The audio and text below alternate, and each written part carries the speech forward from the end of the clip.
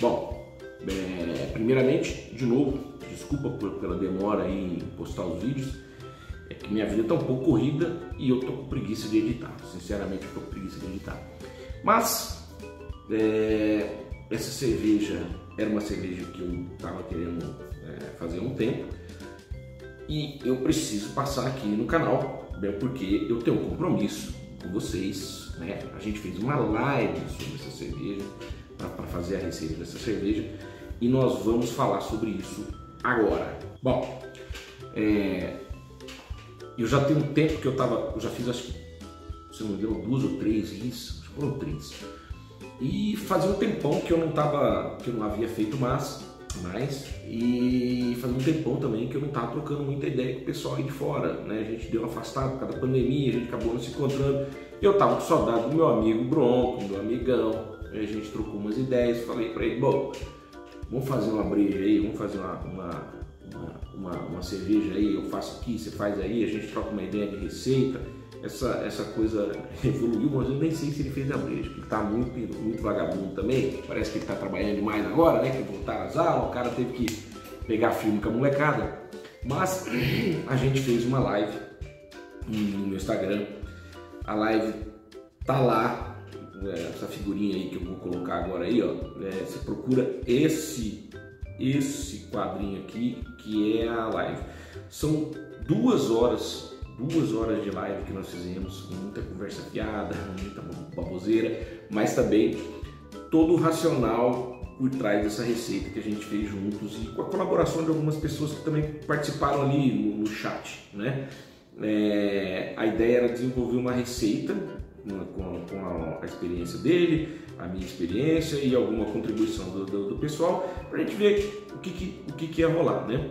Então, eu vou falar da receita, mas Primeiro, primeiro de tudo, é, tenho que dizer para vocês o seguinte: Lúcia Imperial Stout é uma cerveja difícil de fazer, muito difícil de fazer. Ela tem várias características começam ali no bicho de malte, que tem que ser um, um, uma pegada é, bastante alcoólica. Então, assim, é, um, é, é uma cerveja que usa muito malte. É uma cerveja cara de fazer porque para você ter muito malte, ela não ficar tão doce, você também tem que ter bastante lúpulo, então também vai bastante lúpulo. É uma cerveja bastante lupulada, por incrível que pareça, mas o, o a lupulagem está ali para equilibrar o dulçor. Então, é cerveja cara, difícil de fazer. Então, quando você for fazê-la, você precisa estar preparado, não só para o dia, como para todas as etapas subsequentes da produção, né? A parte quente é um perrengue, é um inferno de fazer, porque é malte pra cacete, top, cara, demora, né? Você tem algumas formas de fazer é, a, a, a ris é, para ela ficar bem viscosa. Eu escolho, na maior parte das vezes, aliás, todas as vezes que eu fiz, eu prefiro ferver bastante. Nesse caso aqui, se eu não me engano, foram duas horas e meia ou três horas de fervura que é para a reação de Maillard trazer alguma outra complexidade. Então, assim, é uma cerveja pesada de fazer. E depois, vem uma parte que é extremamente fundamental, extremamente fundamental. É o sucesso da sua cerveja depende dessa etapa, que é a fermentação. A fermentação de uma ris precisa ser muito bem conduzida. E essa condução começa em você definindo o pit rate. Faz um pit rate pesado, pesado, com bastante células, para que ela não seja arrastada. É, se o pit rate for baixo, como tem muita levedura, é, muito açúcar no mosto, vai haver muita reprodução de levedura. E quanto mais se reproduz as leveduras, mais ésteres vão aparecer. Então, é, faz um pit rate alto. Nessa cerveja eu usei, por exemplo, uma lama que eu já tinha, mas mesmo assim era uma cerveja, uma lama de, um, de uma blonde uma, blonde não, foi, não lembro que cerveja que eu fiz, foi uma red não sei, mas era pouca, era uma, uma lama de 20 litros, eu fiz um outro starter é, que eu joguei junto lá para não ter problema, né? Então assim, é foi uma, uma, uma fermentação bastante tranquila até. Eu usei é, levedura de cerveja para levedura de cerveja para alimentar as leveduras. Então, eu recomendo fortemente que vocês visitem a loja da Estilab e aproveitem o preço de 15 reais. Essa aqui é uma Vermont que eu vou usar para fazer uma uma Nelson Solvan aí, eu quero fazer uma New England IPA só de Nelson, que eu tenho uns 400 gramas de Nelson aí, então eu vou usar essa Vermont para fazer a breja, mas eu usei uma lama, eu usei American Ale, Mil, né, a, a Mil da, da, da, da Estilab, American Ale, porque ela traz um perfil mais neutro e atenua bacana, assim, ela tem uma atenuação bacana, né? É, foi a levedura que eu tinha feito a outra cerveja, se não me engano foi uma Red Ale. Uma, eu acho que era uma Red Ale. Teste! Tinha uma lá que eu, que, eu, que eu usei. Então eu fiz, peguei um frasquinho, rodei ele duas vezes, fiz dois litros de, de starter mais a lama que eu tinha lá. Bom, a cerveja, o dia da abraçagem, eu, eu comecei no dia anterior porque eu não queria, é, uma cerveja bastante demorada de fazer, eu não quis começar tudo de manhã, então eu, eu moí os grãos na, à noite, lavei toda a panela, sanitizei, deixei aquela coisa toda pronta um dia anterior à noite.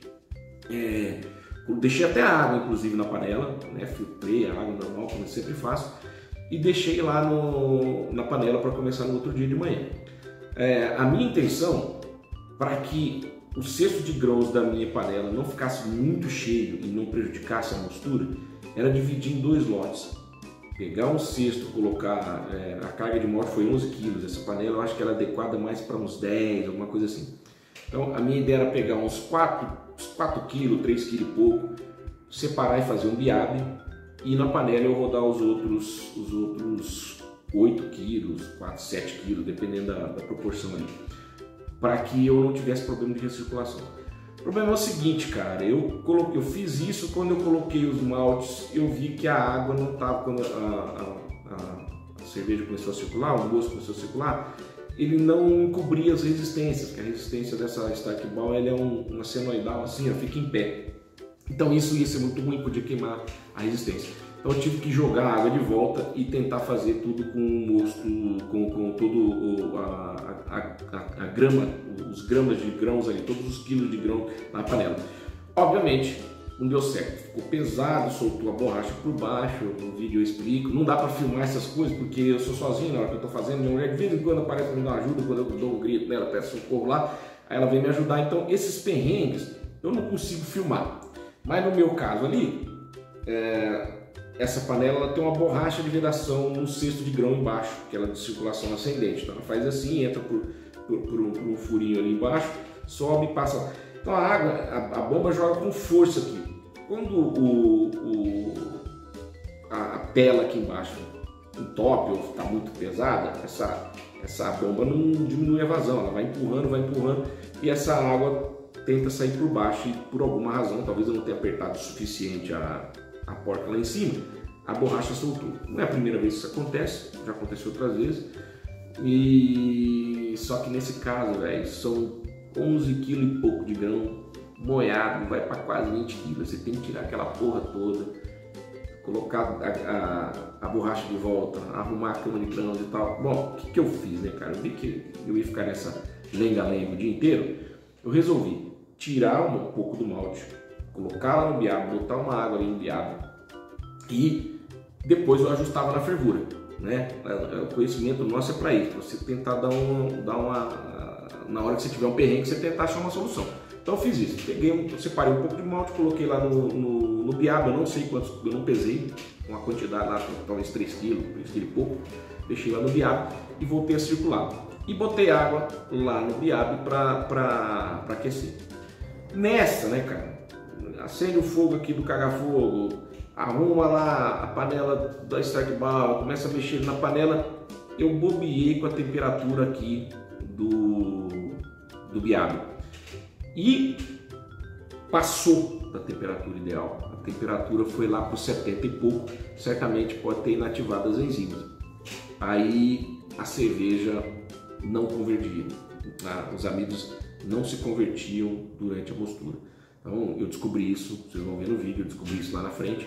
Então o que, que eu tentei fazer, cara? Como essa panela aqui, a automática, tinha bastante malte com enzima, eu peguei, fiz uma circulação. Falei, bom, ali não tem enzima, mas aqui tem. Então a gente tenta converter assim. Então eu fiz um, um link entre as duas panelas e fiquei circulando, atenuou bacana, deu, deu uma atenuada legal. Então o processo foi basicamente isso, bastante perrengue, vocês vão ver no vídeo, mas é, sobre a construção da receita, eu sugiro fortemente que vocês assistam a live. Vão lá no, no cardzinho que eu mostrei no meu Instagram, vai ter a construção da receita. Eu não vou ficar explicando todos os elementos aqui, porque vai ficar grande o vídeo, né? É, já é grande, vai ficar maior. Então, não quero é, encher tanto a paciência de vocês. Vocês assistam lá na live que é maior do que esse vídeo aqui. Mas basicamente a gente usou Pale Ale, é, Munique 2, uma proporção igual, cara. Ó, a, a, proporção ficou assim, ó, 27% de Pale Ale, 27% de Munique 2, que tem um EBC de 120. Aí a gente usou 21% de aveia, e aí vem os especiais ali para dar, uma, dar um barato. Ó. É, o cara que tem um EBC de 50, e o Special B, que eu coloquei, não sei se lá na live a gente falou, mas o Special B eu acho que traz um, um, um perfil bem bacana para esse tipo de cerveja. Então eu coloquei ele ali, deu 7 gramas mais ou menos, 7% mais ou menos Special B, além de uma cevada torrada e bem pouquinha e do chocolate malte, porque a gente queria uma pegada mais para chocolate do que para café. Então ficou a cevada torrada bem pouquinho para dar um cafezinho, mas o chocolate malte foi a grande quantidade foram lá, lá, lá, é, mais ou menos iguais.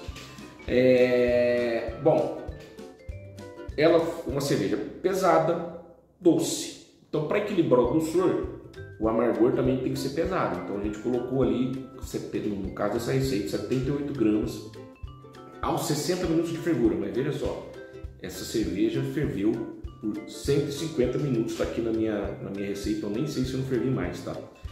É, e eu acho que eu, eu acho eu tive um problema de resfriamento. No, no, o cheiro de placas não foi suficiente para baixar a temperatura. Tava, vocês vão ver que eu tô até com agasalhozinho na, no dia da abraçagem, estava fresco aqui em São Paulo e não abaixou a temperatura. Saiu a 60 graus. Eu acho que a viscosidade estava tão alta que a, não foi suficiente para resfriar o gosto. Né? Então isso fez com que a cerveja pegasse um amargor maior do que eu desejava. É, então, no decorrer da execução, depois da, lá da, da, da fermentação, tentar fazer alguma coisa para salvar, né? Então, é, eu parei ali no 1035, ficou uma, uma 1035, mil e, deu 1030 mais ou menos a, a FG, né? Então ficou bastante doce em tese, só que ela estava amarga né? O, o, amargor, você sentia assim que, o, que ela não estava doce, ela, o, o, amargor escondia, mas estava no, no, começo, quando ela estava verde, ficava um amargor pesado, dava para sentir.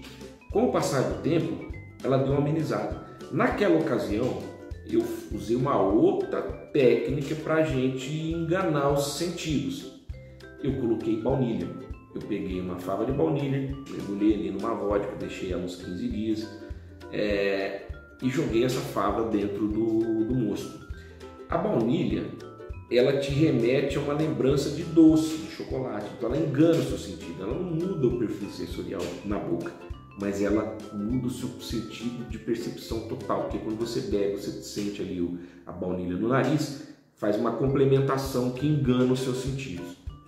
Outra coisa que eu fiz que eu achei que cabia demais nessa breja foi jogar uns extratos que eu tenho aqui de sementes, que eu já usei em outras vezes, né, em outra risa inclusive, que é de angurana.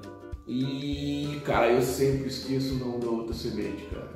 Puta que pariu, eu vou lembrar, depois eu falo pra vocês, eu escrevo ali. É, eu coloquei, eu fui, eu, fui, eu fui colocando umas gotas e provava, umas gotas e provava até que, cara, chegou numa, numa complexidade tamanha que parece que a cerveja ficou num barril. Ficou muito legal ficou muito legal. Cara. É, sucupira. Sucupira. Essas, essas sementes elas estão aí há meses aqui dentro de uma solução, dentro de um, um, um frasquinho com uísque, né? Uísque, é, sucupira e amburana.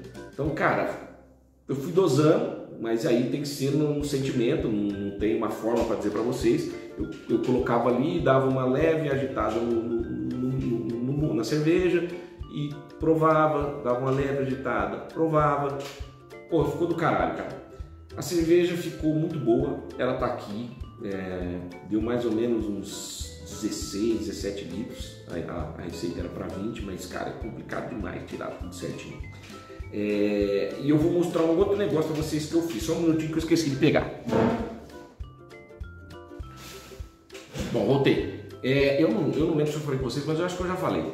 Minha mulher desenvolveu intolerância a, a glúten, né? Então isso, pô, foi uma brochada que me deu, rapaz. Minha mulher gostava de tomar uma cervejinha, então agora tem que tomar aquelas porra que é cerveja sem glúten. E não tem. Ris, Stout e não sei o que sem glúten. Não tem, pelo menos a gente não conhece. A gente vê umas lagras aí e tal. E eu conversei, estava conversando com o Leandro, o Leandro me falou do, do PAP. Ele falou, pô, os caras têm um produto lá, não sei o que, não sei o que. Me passou o contato do, do, PAP. O cara gentilmente me mandou, falou assim, cara, não precisa nem falar nada não, cara. Vê aí se te atende. É esse produto aqui, ó. Clarex. Ah, põe X. Depois eu coloco isso aqui para vocês, acho que é uma ou duas gotas por litro, uma coisa assim. É, que ele quebra aí a, a, a, as enzimas do, do, enzima molécula, como é que é? Do, do, do glúten, né? É, as proteínas, sei lá porra que é do glúten, eu esqueci agora. É, cara, eu falei, mano, vou fazer uma RIS sem glúten, velho. Só que quando eu falei para ele assim, falei, bichão, eu vou fazer uma cerveja pesada a OG dessa cerveja aqui explodiu meu, meu densímetro, cara. Foi 1115. 1115. Aí ele falou: opa, peraí, cara. Então, assim, vamos fazer o seguinte: põe umas 3 a 4 gotas por litro. Eu pus um pouquinho mais, acho que eu, não, acho que eu fiz porque eu, eu, eu calculei para 20 litros, mas deu menos cerveja, então coloquei 4 gotas por litro, então foi, deu mais, deu mais que 4 gotas por litro.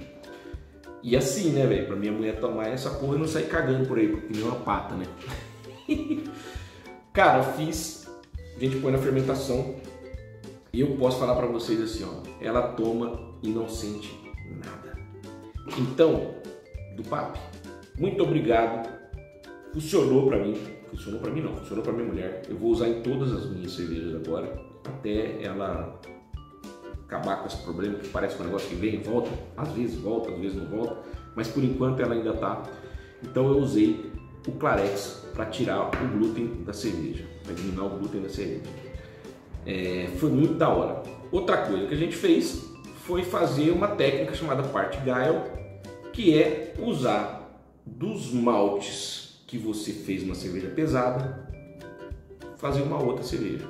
Então eu fiz uma cerveja que eu achei que ia dar uma, sair uma brown ale, mas na verdade saiu uma, uma, uma, uma stoutzinha daquela bem levinha, parecendo a Guinness, sabe?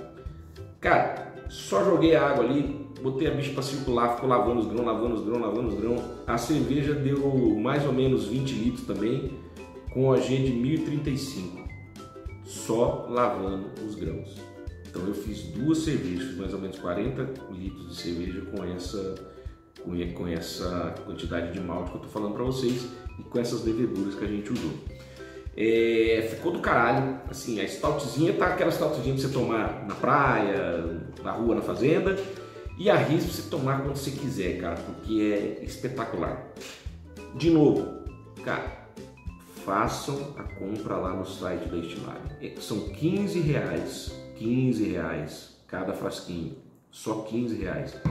Façam um starter, façam um starter, mas não é não vem com esse papo de starter de ativação, não sei o que, não. É para produzir célula. Você, é, é, levedura líquida, você precisa fazer starter. Eu faço starter assim, eu começo, às vezes na quarta-feira, quando eu fazer lager, eu pego uma de, de, de, de, de 200 ml dessa daqui, é, começo a fazer na segunda-feira, por exemplo, starter. Faço lá um litro, deixo decantar até na quarta, aí decantou, eu faço 2 litros, deixo rodar até no sábado, aí fião, com 15 conto a gente faz 40 litros de cerveja, entendeu? Depende da sua habilidade de fazer o start. É, no caso aqui da, da minha risa, foi uma fermentação top de linha, rapidona, ficou limpa de ésteres, porque eu tomei esses cuidados. Fiz uma boa aeração de mosto, coloquei ali um, um, um alimento para levedura, ficou do caralho. E depois eu usei o nosso amigo Clarex aqui da do Papo para fazer tanto a stoutzinha quanto a ris sem glúten. E agora nós vamos ter cerveja sem glúten em casa. Valeu, do Papo? É... Então é o seguinte, fiquem aí com o vídeo e depois a gente volta para mostrar as delícias.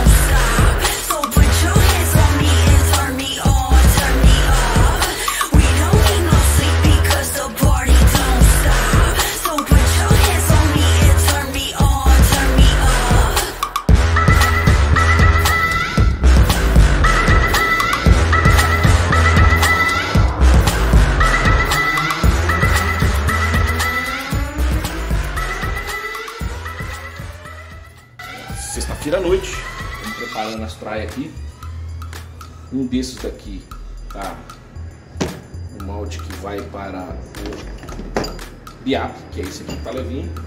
Aqui tá o que vai para a panela, pesadão. E aqui o pretinho que eu vou decidir se eu vou pôr na mostura ou só no final da mostura. Já separei aqui ó 15 litros de água, vou fazer um biab. E ali eu tô colocando os 30 litros para fazer a abraçagem do pesadão ali. Vamos ver, amanhã a gente ajusta o restinho. Amanhã tem que ajustar a água, botar para esquentar. Aqui já tá meio no esquema, só vou programar a máquina ali e amanhã o pau tora. Até amanhã. Bom dia, bom dia. 8 e 20 da manhã, vamos começar cedo hoje. Botei para esquentar aqui. Esse aqui, como eu tô só com um bujão de gás, minha mulher tá fazendo o nosso breakfast. Então eu coloquei o rabo quente aqui para ele começar a esquentar estão ali. Vou corrigir a água, que a gente possa começar essa massagem nervosa, porque hoje o dia promete, negada.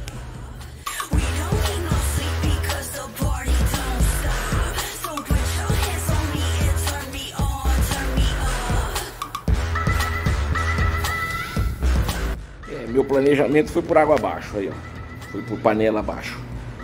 Não vai dar para eu colocar fazer em duas. Eu queria separar para não forçar muito aqui, mas não vai ter jeito. Falta água, aí a serpentina fica é, exposta. Eu vou falar lá com o Vanderlei da, da Stark qual dica que ele pode dar pra gente melhorar isso aí. Mas tudo bem, ela tá aguentando, ó. Meu, meu receio é que ela não desse conta. Eu não coloquei os maltes escuros, vou, vou dar uma olhada no pH primeiro, vou deixar. Aí, se for o caso, eu coloco ele só na, só lá no Meshout, beleza? Agora vamos tomar um café. Mas é que não dá pra gravar por trás das câmeras porque não tem auxiliar aqui, meu moleque filha da mãe que ficou de gravar meus vídeos. Tá na namorada, né, Duda? E aí não vem aqui ajudar o pai. Ai, perrengue, hein? Entupiu, pra variar. A, a nossas, nossas amigas aveia, bloco de aveia, faz aquela papa, aquela papa. Aí estourou. Estourou a borracha não, ela soltou por baixo. Não sei nem como consegue soltar, porque é uma pressão da porra que a gente põe aqui na. pra fechar, mas soltou. Aí levanta esse cesto pesado pra porra, tira tudo os maltes, dá uma arrumada, coloca a mangueira, no, a borracha no lugar. Aí depois põe o esmalte, testa de novo, não ficou bom. Aí não teve jeito, cara. Eu tive que tirar uma parte, eu não vou ficar sofrendo aqui não. Tirei uma parte aqui, sei lá quantos quilos, acho que 3 quilos, sei lá, não, não sei, não, pesei. Fui tirando ali, para deixar um pouco de folga aqui na máquina, para a bomba não, não forçar tanto ali, não estourar de novo a, a vedação. É, meti uma água aqui, um biabão aqui. Agora eu vou ter que um tempo aqui depois administrar o volume a IOG, a fervura, entendeu? Faz parte, né? Dos perrengues. Pena que não dá pra gravar, porque, bicho, uma encheção de saco, uma dor de cabeça da porra. Olha aí a miserenta agora, ó. Maldita. Chega a jogar pra cima, ó. Filha da mãe, mano. Agora tá com potência pro caralho. Filha da mãe. Ó o caramelão que tá, ó. Coisa linda, hein? E ali é sujeira. e a mão no filtro, né? Ó, tem que desligar a bombinha ali. Apitou, tá no teste do iodo. Essa aqui tá boa, cara. Tá boa. Tá quase quase convertidinho, ó. Tá bacana. Agora essa daqui eu vou medir agora, vamos ver. Vamos ver. Ó, agora vou colocar os pretão. Não sei como é que eu vou fazer não, porque eu queria colocar isso aqui na, na hora do iodo. Que a máquina para e pula mesh out. Aí eu não sei se eu vou ter que interferir na programação dela. Tirei um pouquinho de malte aqui, coloquei lá na outra. Agora eu vou fazer esse trem ficar escurão. Fechar. E retomar o processo. Eu nunca fiz isso. Não sei se está certo. Então vamos ver se vai rolar ou não. Queria voltar lá no teste do iodo para não Vou continuar. Eu subi pro Ver se.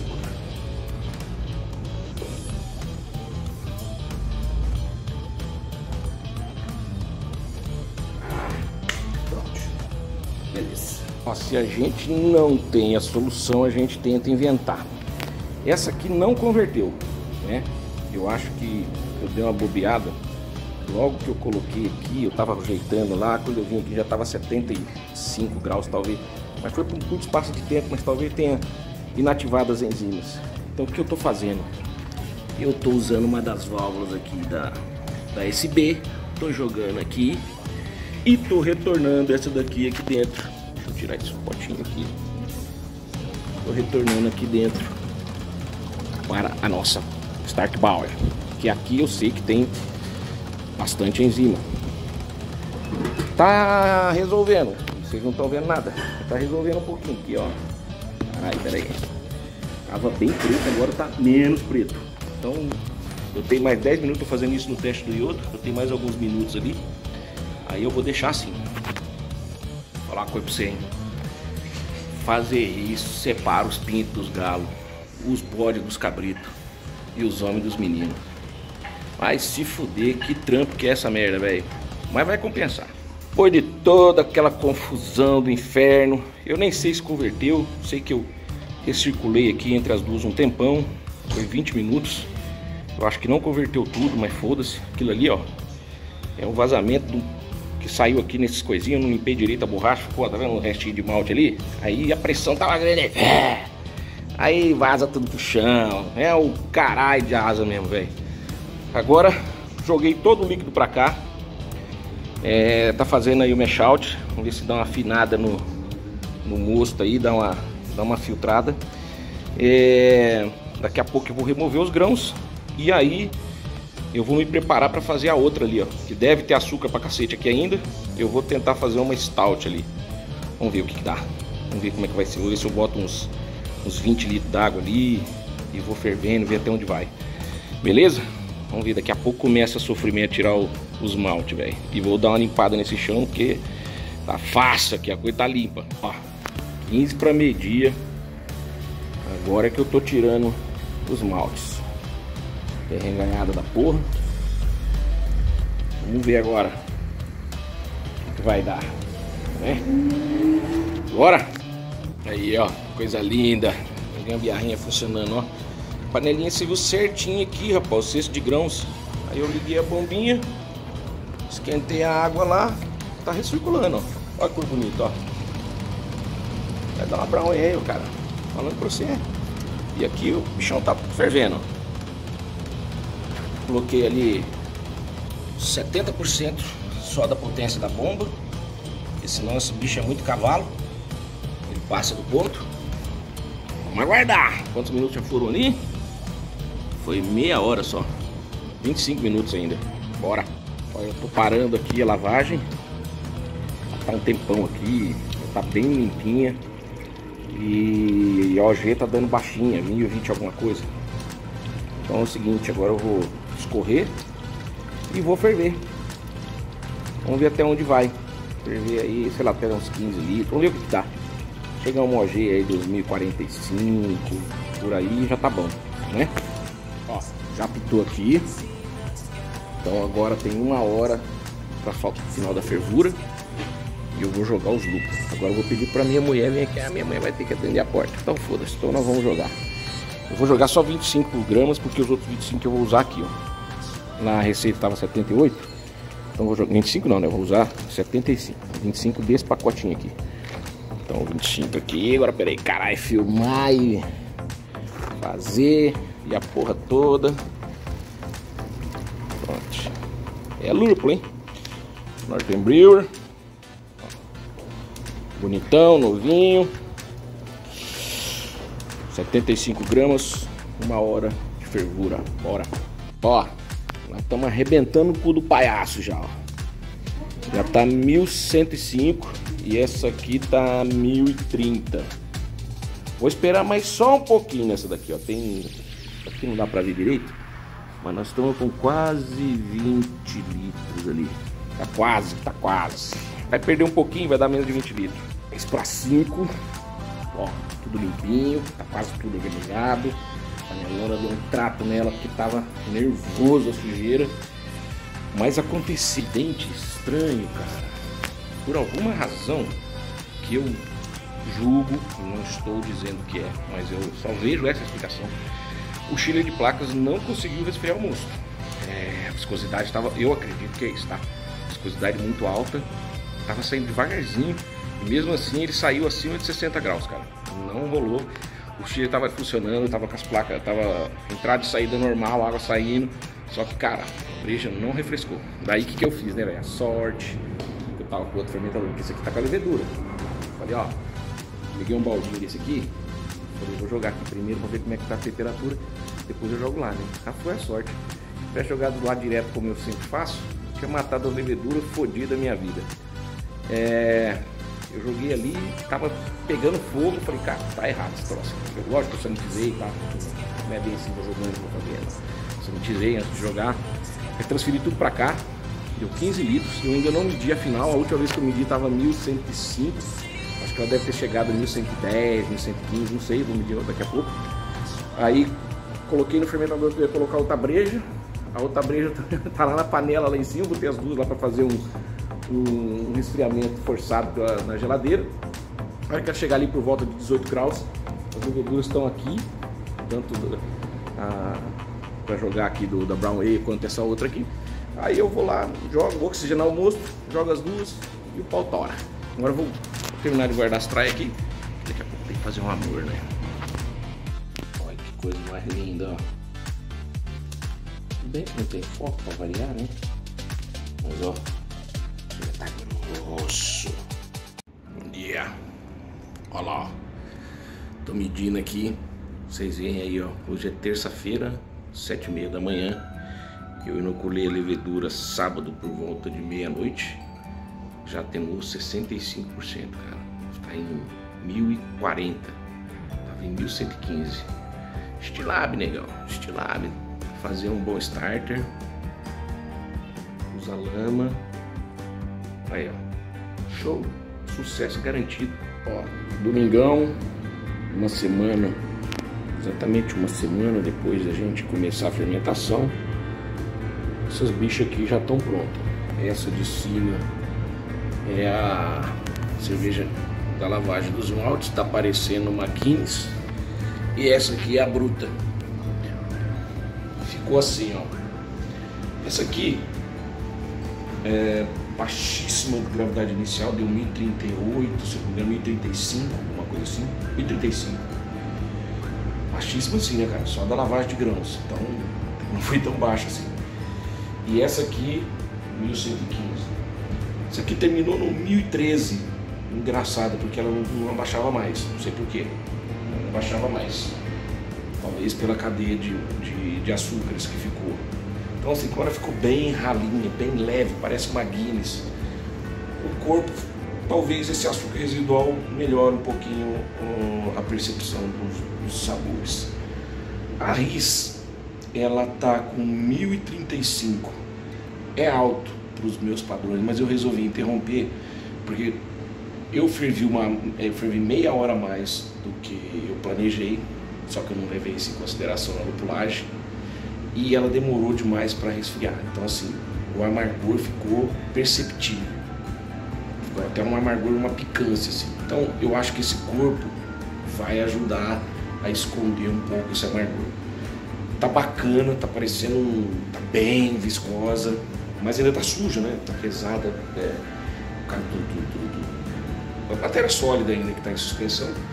É, mas eu acho que vou, o, o, paladar tá bacana, tá bastante, tá bastante, tá bastante chocolate, assim, não, não, puxou café não. Eu acho que eu vou colocar baunilha, cara. Umas favas de baunilha para pegar esse, dar esse up assim, no chocolate talvez disfarçar um pouquinho mais o amargor. Vamos ver. Mas o importante é o seguinte, ó, uma semana de fermentação, já está indo para maturação. É a lama e o starter.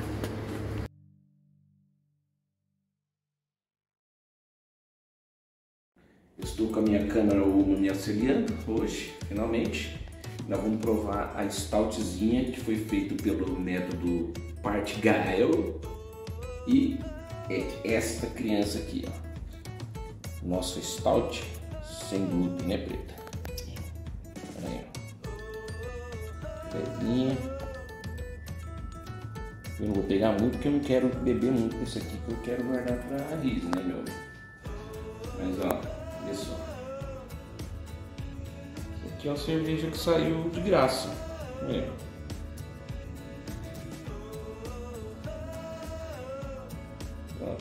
Tá bom. Levezinha. Ó. Pretinha, espuminha escurinha. Não é uma espuminha creme. Mas honestíssima. 1035 para 1013 vai estar ali com seus três e pouco, quatro de álcool. Hum, cafezinho. Hum. Eu deixei ela bem carbonatada, deixei ela bem pegada, que é pra ser refrescante mesmo, então uma picância no final. Levinha, bastante café no aroma, na boca. Hum. E essa tem uma vantagem pouquíssimo amargor. Tem que ser.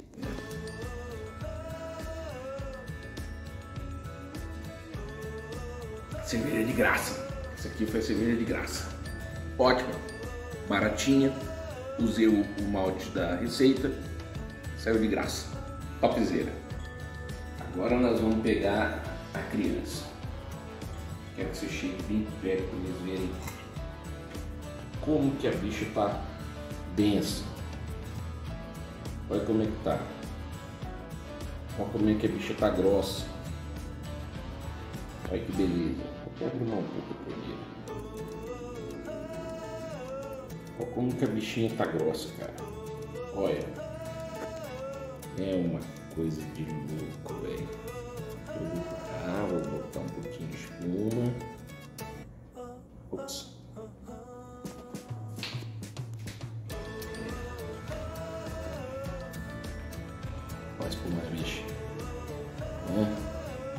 fazendo sombra, mas tudo bem. Olha. O pé bonito? Olha que coisa mais linda. Ó. Olha isso. Dá uma olhada nessa breja, velho. Olha a qualidade da espuma. Bolinhos finos. Ó. Parece um café expresso. Uhum fazer igual Cadu, na brejada.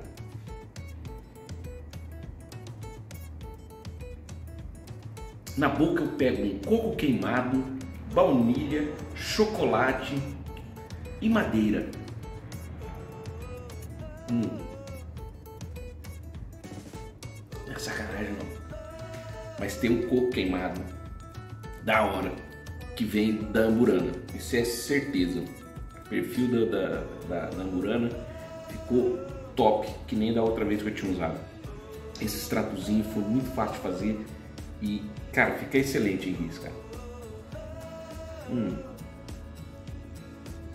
A espuma, pode ver. Uma cerveja como essa, geralmente você não consegue muita espuma. Olha o tempo que essa espuma está tá durando. Tá densa, tá gostosa. Ela tá muito melhor. Passa o tempo, ela é igual eu, cara. Passa o tempo, vai melhorando. minha, mulher não, minha mulher ri, mas é verdade. Ela tá evoluindo. O amargor que, que, que aparentava no passado, hoje sumiu. Mas tem um aroma bacana de, de, de coco queimado, chocolate amargo assim, um pouquinho de baunilha. Hum. Densa, grossa, alcoólica. Você sente o calor assim. Você não sente o álcool, mas você sente esquentar, que é o que a gente busca na cerveja dessa. Cerveja ideal para você fazer, sei lá, no começo do ano e guardar para tomar lá no meio do ano. Eu fiz essa cerveja acho que tem uns quatro meses, eu nem lembro mais quanto tempo eu fiz, acho que faz até mais. Nós estamos agora em outubro, ainda está fresquinho em São Paulo, tá? Top das galáxias. Eu fiquei de mandar as garrafas pro Bronco, mas eu acho que não vai dar. Hum. Ficou muito boa. Sugiro que vocês estudem bem a receita, assistam a live lá no Instagram, estudem o porquê nós fizemos aquela, aquela receita, cada ingrediente desse. Assistam o vídeo e ouçam as dicas da execução, porque para você executar uma cerveja como essa não é fácil, é um, é um, é um negócio difícil de fazer, mas quando você consegue fazer, dá orgulho. Ficou topzera. Seu